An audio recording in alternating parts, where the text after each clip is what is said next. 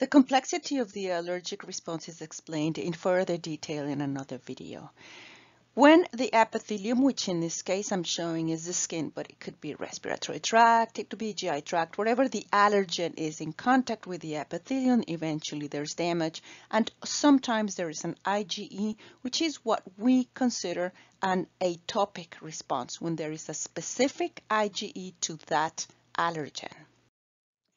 The response to IgE basically drives three types of cells that bear the IgE receptor, and I explain this in more detail in another video. The importance of these three types of cells is that they contain granules that basically will destroy proteins in several different tissues, and this will cause an immediate reaction, which is within minutes.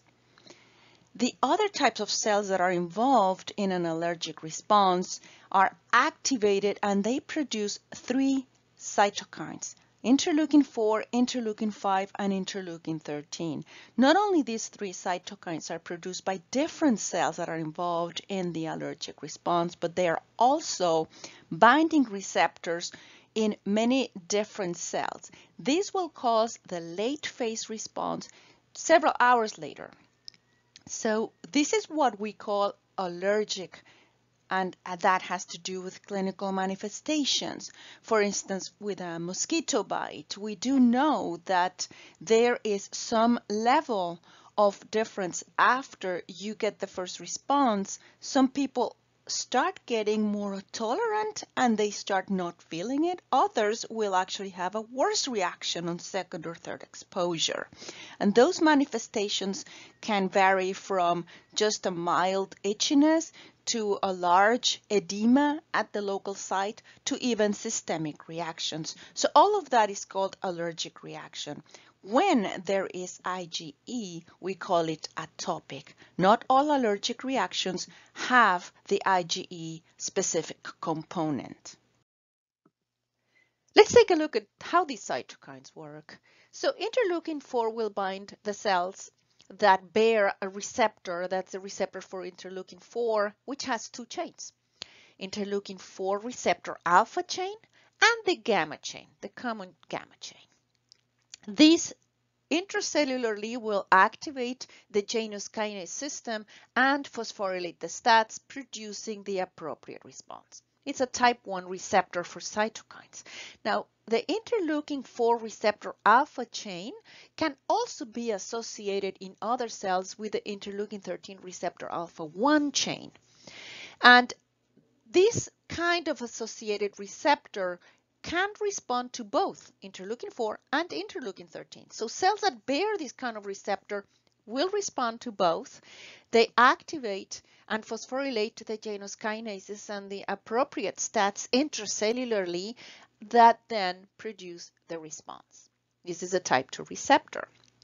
Now, it has been described that interleukin 13 can also bind an interleukin 13 receptor alpha 2, which has no Janus kinases associated intracellularly. And for a long time, this was perceived as potentially a decoy system, something that could dampen a response after some time and will no longer activate cells. However, recently I found that there's some publications that uh, have found that this can particular type of receptor eventually produces the tissue growth factor beta and may be associated with fibrosis.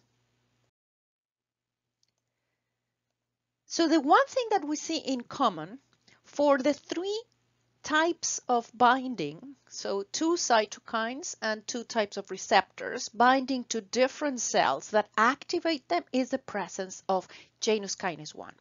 Whereas we don't have that in the decoyed uh, or in the other IL-13 receptor alpha-2 system. So let's take a look at the responses that produce an activation intracellularly. We have interleukin 5 also. The receptor for interleukin 5 has two chains, interleukin 5 receptor alpha and interleukin 5 receptor beta chain. They signal also through activation and phosphorylation of the Janus kinases, and STAT1, STAT3, and STAT5, which are present in the eosinophils. This is a very specific eosinophil response. And these will produce eosinophil maturation, survival, and activation. In summary, the three cytokines involved in the allergic responses all signal through JAK1, which provides an opportunity for inhibiting JAK1 with medication to treat allergic responses. Thank you for watching and consider sub subscribing to my channel and watching other videos that I have created. Thank you very much.